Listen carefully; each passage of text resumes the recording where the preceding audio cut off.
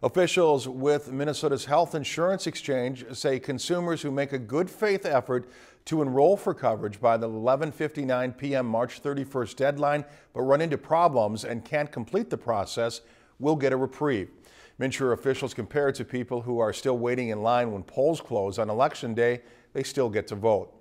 So those who are still in line when the enrollment deadline hits will still be able to get coverage and avoid the tax penalty. People can, can fill out a form on the MNsure website, but the exchange will accept other documentation too. More than 130,000 people had signed up as of Friday. MNsure has set a goal of 135,000 and plans to issue updated enrollment figures tomorrow. And with that MNsure deadline coming up, registers have been working to help people uh, that have struggled to sign up due to problems with the MNsure.org org website.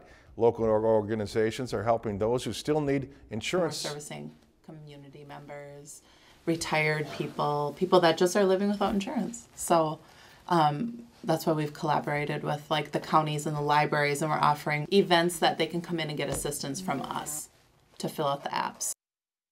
The Tri-County Community Action will be open for the rest of the week from 8 a.m. until 4.30 p.m. For their number or to make an appointment, you can check out our Facebook page. If you've enjoyed this segment of Lakeland News, please consider making a tax-deductible contribution to Lakeland Public Television.